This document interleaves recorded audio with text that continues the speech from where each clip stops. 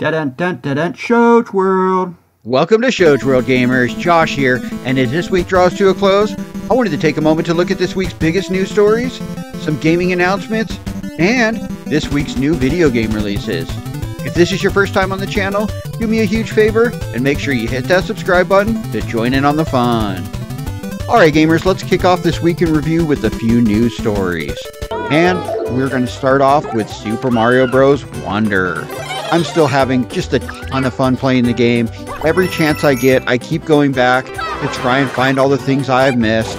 The speedrunning community have also been having a blast playing the game. With the world record for the game being broken, it seems like hourly, it feels like. It is well below the sub two hour mark, with new tricks and shortcuts still being discovered. Now, Xbox is moving to block the use of certain devices on Xbox systems with mixed reactions from fans.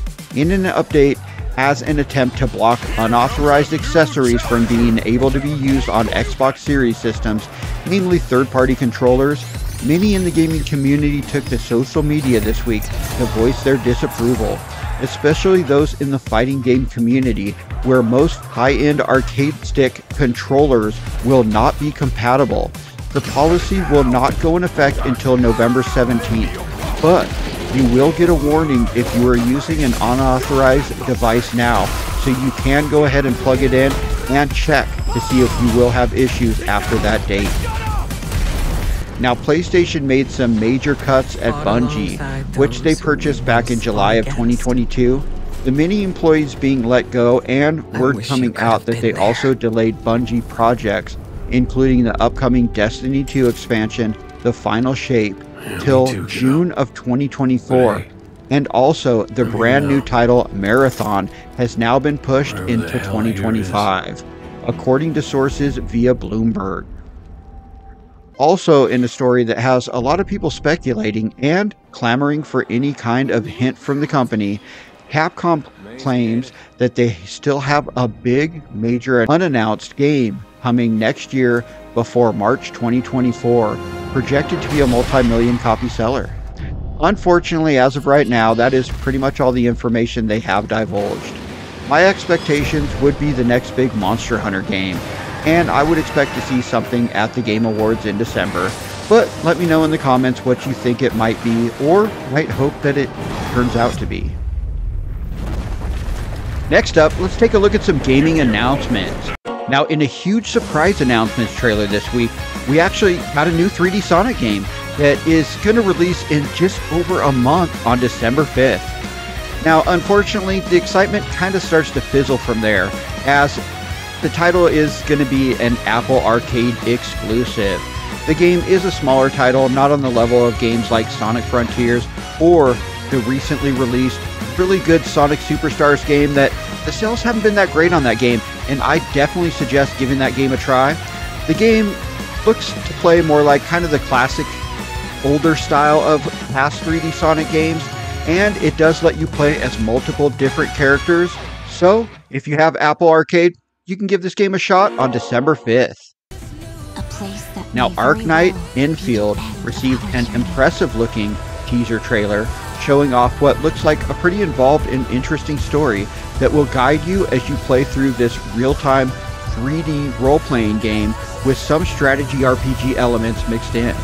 From what I understand, the game started off as a mobile game and has been very popular, and it's now getting a PC version. So far, there is no news on a console version, but the game looks promising, so if the PC version lives up to the hype, I expect a console edition won't be far behind. Speaking of which, how should I address Alright gamers, let's finish up with this week's new video game releases.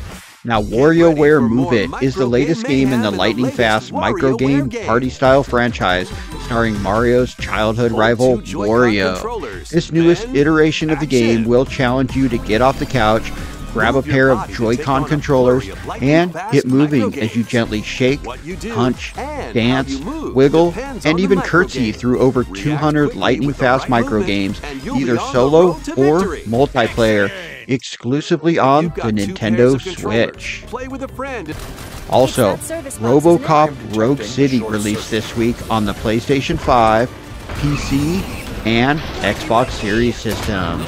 And it promises to deliver all of the over the top 80s movie style, hyper violent, gory action fans of the movie franchise would expect from a game based on the franchise. The game is a first person shooter game featuring an original storyline based on the Robocop films, with Peter Weller reprising his role as the main character and takes place in old Detroit. Now, Star Ocean, the second story R, released this week on the Nintendo Switch, PlayStation 4, and PlayStation 5. The game is taking advantage of a really cool looking graphic style that combines beautiful 3D graphics with nostalgic 2D pixel characters, giving us a stunning 2.5D style that fits perfect into this classic sci fi RPG franchise. Now, Headbangers Rhythm Royale is a rhythm based party game influenced by the Fall Guys survival formula with a quick four round elimination format that whittles a field of 30 pigeon players down from 20, then 10, then 5 before the last players duke it out in a final frame. Only instead of being a physics based battle or racing game, this is a rhythm based game where you will be competing to claim the title of Master Headbanger. The game released this week on the Nintendo Switch, PlayStation 4, PlayStation 5, PC, Xbox One, Xbox Series systems, and it was a day one release on Game Pass. Now, Jusant, or Jusant, not sure how you say that, but the, it is a platforming puzzle action adventure climbing game where you take control of a lone wanderer as they climb a desolate tower filled with the artifacts of a long lost civilization. I've been hearing good things from those who have gotten to try early versions of the game, and it released this week on the PlayStation 5, PC, and Xbox Series systems, including Game Pass. I have played a little bit of the game so far, and I'm really enjoying it. I definitely suggest giving this game a shot. Alright, gamers, that concludes this week in review for the week ending on November the 3rd. The week started with rumors that Insomniac may be considering a standalone Venom game.